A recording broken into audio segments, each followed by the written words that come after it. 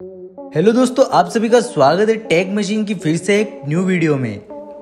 दोस्तों, आप सभी को हम आज की इस वीडियो में बताएँगे फैक्ट्री में टॉवर फ़ैन को कैसे बनाया जाता है, जो कि एक ऑटोमेटिक फ़ैन होता है, जिसे हम रिमोट से कंट्रोल भी करते हैं। लेकिन दोस्तों, क्या आपने कभी सोचा है कि फैक्ट्री में इन टॉवर फैंस को कैसे बनाया जाता होगा? तो इसकी मैन्युफैक्चरिंग को देखने से पहले अगर आप चैनल पर नए हो तो चैनल को सब्सक्राइब कर दें।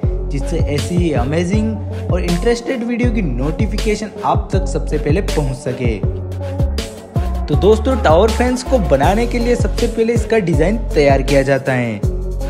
व उसके आधार पर वर्क शुरू किया जाता है।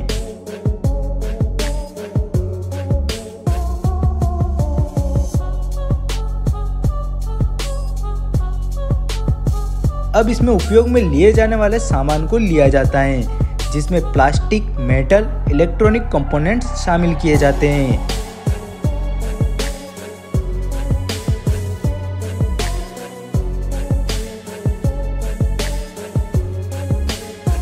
अब प्रोटोटाइपिंग की प्रक्रिया शुरू की जाती है, जिसमें कंप्यूटर डिज़ाइन सॉफ्टवेयर को यूज़ किया जाता है।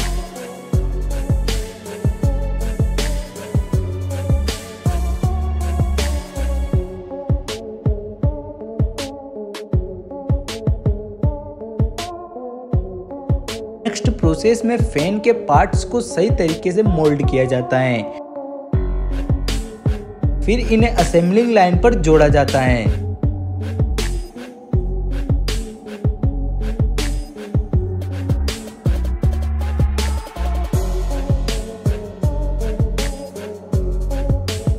अब मोटर स्विचेस व वायर्स को जोड़ा जाता है।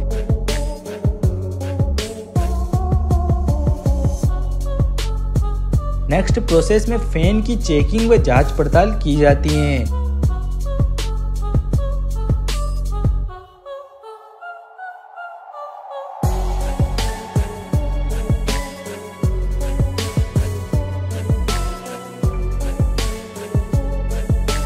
चेकिंग में सब कुछ सही पाए जाने पर इन्हें पैकेजिंग कर मार्केट में सेलिंग के लिए भेज दिया जाता है। तो दोस्तों फैक्ट्री में इस तरह से टॉवर फैंस को बनाया जाता है।